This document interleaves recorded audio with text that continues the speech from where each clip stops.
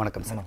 Sir நம்ம வாரந்தோறும் எலும்பு முறை குறித்தான நேரோட பல்வேறு கேள்விகளுக்கும் அது மட்டும் இல்லாமல் எலும்புகளை நம்ம எப்படி பாதுகாக்க வேண்டும் அப்படி குறித்து ஒரு முக்கியமான விஷயங்கள்லாம் பேசிகிட்டு இருக்கோம். அதே வருஷத்தில் இன்றைக்கி பார்த்தீங்க அப்படின்னா இந்த பெரியவர்களுக்கெல்லாம் வந்து மூட்டு வலி ஏற்படுது மூட்டு தேய்மானம் ஆயிடுது அப்படின்னு சொல்கிறாங்க அந்த மூட்டு வலி மூட்டு தேய்மானம்னா என்ன?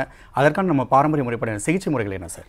ஆமாம் அதாவது பார்த்தீங்கன்னா மூட்டு வலி வந்து இப்போ நமது முன்னோர்கள் அதாவது கடந்த காலத்துலலாம் பார்த்தீங்கன்னா வயதானவர்களுக்கு தான் வயதின் காரணமாக மூட்டில் வலி வந்ததை பார்த்துக்கிட்டு இருந்தோம். பெண்களுக்கு நாற்பது வயதுக்கு மேற்பட்டவர்களுக்கும் ஆண்களுக்கு பெரும்பாலும் ஐம்பது வயதுக்கு மேற்பட்டவர்களுக்கு தான் மூட்டு வலி வந்ததை நம்ம சிகிச்சை அளித்து கொடுத்துக்கிட்டு இருந்தோம். ஆனால் பார்த்திங்கன்னா இன்றைய காலத்தில் குழந்தைகளுக்கு கூட அதாவது ப ஒரு பதினஞ்சு வயசு இருபது வயசு பத்து வயசு குழந்தைகளுக்கு கூட விட்டமின் டி த்ரீ கம்மியாக இருக்கக்கூடிய குழந்தைகளுக்கும் வெயிலில் வெயில்ல பார்க்காத வெயிலில் விளையாடாத குழந்தைகளுக்கும் பார்த்தீங்கன்னா சில குழந்தைகளை வந்து வீட்டிலே வச்சு நிறைய சத்தான ஆகாரங்கள் அப்படின்னு சொல்லிக்கிட்டு பாட்டிலில் அடைச்ச பொருட்கள் பாக்கெட்டில் அடைச்ச பொருட்கள் இந்த மாதிரி குளிர்ந்த ஆகாரங்கள் இப்படி கொடுத்து வளர்த்துக்கிட்டு இருப்பாங்க. வெயிலே காமிக்க மாட்டாங்க. அதாவது வெயிலில் போகிறதோ அல்லது வெயிலில் விளையாட விடுறதோ இந்த மாதிரி வெயிலில் விளையாடாத வெயிலில் வெயிலில் போகாத அப்படி சொல்லி வளர்த்து வெயிலை பார்க்க அதிகமாக பார்க்காம இருப்பாங்க.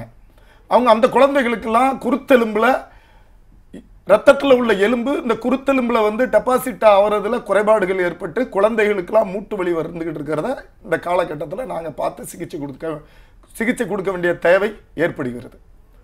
பார்த்தீங்கன்னா நடுத்தர வயது என்ன இருக்குது இப்போ பார்த்தீங்கன்னா பெண்களுக்கு ஒரு நாற்பது வயதுக்கு உட்பட்டவர்களுக்கு கூட இப்போ மூட்டு வலினால் அவதிப்பட்டுக்கிட்டு இருக்காங்க. அதாவது மாதவிடாய் ஒழுங்காக வராதவங்களுக்கு வெயிலில் போய் நல்லா வேலை செய்யாதவங்களுக்கு உடம்புல ஊழச்சதை அதிகமாக போட்டு வெயிட்டில் வெயிட் அதிகமாக இருக்கிறவங்களுக்கு ரத்தத்தில் வாத நீர் அதிகமாக அதிகமாக உருவாகி இந்த மூட்டில் வந்து வாத நீர்க்கட்டுகள்னால மூட்டில் நீர்க்கட்டுகள் ஏற்பட்டுக்கிட்டு மூட்டில் வழி வர்றதை நம்ம பார்த்துக்கிட்டு இருக்கோம்.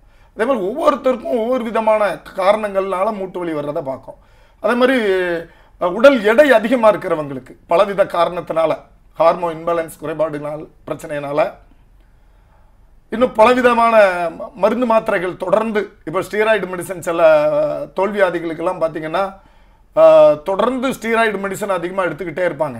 அவங்களுக்கெல்லாம் பார்த்தீங்கன்னா ரத்தத்தில் எலும்பு குறைபாடுகள் ரத்தத்தில் உள்ள எலும்புகள் ரத்தத்தில் உள்ள எலும்புகள் குறைபாடுகள் ஏற்பட்டு அந்த மூட்டுக்கு மூட்டு கால் முட்டிலாம் வெளிவர்றதை பார்த்துக்கிட்டு இருக்கோம் அதாவது நிறைய அதிகபட்சமான ரசாயன மருந்துகள் ஆங்கில மருந்துகள் ரசாயன மருந்துகள் அளவுக்கு அதிகமாக ஸ்டீராய்டு மெடிசன்லாம் ஆறு மாதத்துக்கு மேலே தொடர்ந்து அளவுக்கு அதிகமாக தோல்வியாதிகளுக்கோ அல்லது மற்ற வியாதிகளுக்கோ தூக்க மாத்திரைகளோ இந்த மாதிரி நிறைய மாத்திரைகள் தொடர்ந்து அதிகமாக எடுத்துக்கிட்டு இருக்கிறவங்களுக்கும் ரசாயனம் ரத்தத்தில் கலந்து அந்த மூட்டு பாதிக்கப்படுறதை நம்ம பார்த்துக்கிட்டு இருக்கோம். அதே மாதிரி தான் பார்த்தீங்கன்னா வயதானவர்களுக்கு. இப்போ பார்த்திங்கன்னா பார்த்தீங்கன்னா வயதின் காரணமாக மூட்டில் சப்பளங்கால் போட்டு உட்கார முடியாமல் காலை மடிக்க முடியாமல் வழி வர்றதை நம்ம பார்த்துக்கிட்டு இருக்கோம். உங்களுக்கு கெட்ட வாயுனால உடம்புல உஷ்ணம் அதிகமாகி வாயுனால வாயு அதிகமாக இருக்கிறதுனால அந்த முட்டில வந்து அதாவது ரெண்டு எலும்போட முனப்பகுதியிலையும் முனப்பகுதிக்கு இடையில இந்த ஜவ்வுக்கும் எலும்புக்கும் கேப்பில் வாயு வந்து கோர்த்துக்கிட்டு ஒரு வீக்கத்தை ஏற்படுத்திக்கிட்டு அந்த இடத்துல வழி வர்றதுக்கு பார்த்து வாய்ப்பு இருக்குது அதனால் நீங்கள் நல்லா டயத்துக்கிட்டே சாப்பிடுங்க. வயிற்றுல வந்து கேஸ் ஃபார்ம் ஆகாமல் பார்த்துக்கிடுங்க. ரொம்ப வாயுவான பொருட்கள் சாப்பிடாதங்க. ரொம்ப பல்குச்சம் வர்ற அளவுக்கு புளிப்பான பொருட்கள் சாப்பிடாதங்க. சிமெண்ட் தர முசைக்கு மார்பிள்ஸ் தரைகளில் படுக்காதங்க. நிறைய தண்ணி குடிங்க. நல்லா மூச்சு பயிற்சி பண்ணுங்க.